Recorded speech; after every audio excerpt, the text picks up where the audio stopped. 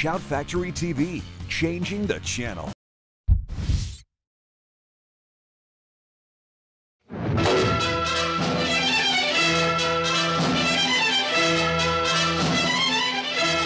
savage nation was at war. Unscrupulous gun runners who lusted for gold were supplying the dreaded Apache with rifles that threatened to drench the whole Southwest in blood and flames. With new guns, Apache will kill, kill, kill.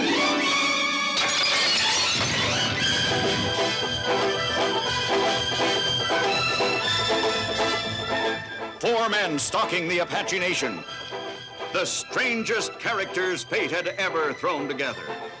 Richard Boone as Lassiter, one moment a leader, and the next a renegade. A man who could laugh with gusto and turn in an instant into a vicious killer.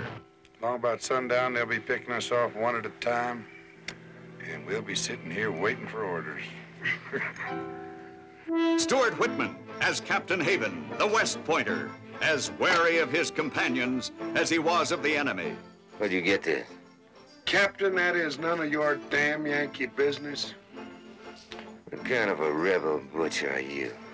Tony Franciosa as Rodriguez, the double dealing, double crossing half breed with a passion for women and wealth. Who would have thought that night in the guardhouse we would be here like this? Rich man, eh? We don't have the money yet. Jim Brown, All American, All Pro football star, in his first motion picture with a heart as big as his gigantic stature. Edmond O'Brien as Pardee, Southerner who refused to accept defeat, the psychotic leader of a private army.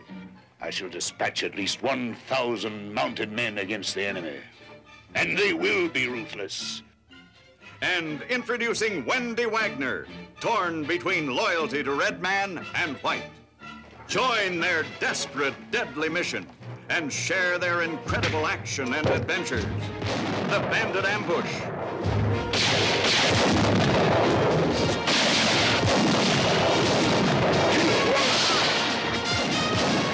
Gracias.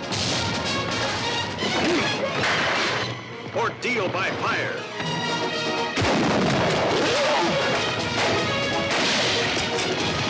Frightful Indian tortures. Ah.